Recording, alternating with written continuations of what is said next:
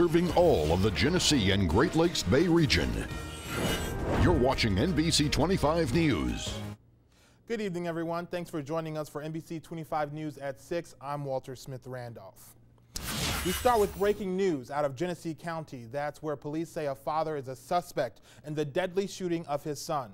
The son is 17 years old and was pronounced dead at Hurley Medical Center today. It happened around 1:15 on the 2400 block of Plainview Drive in Clayton Township. A gun was recovered at the scene. The father was taken into custody. Police are not releasing the victim's or suspect's name at this time. Stay with NBC 25 News as this story develops.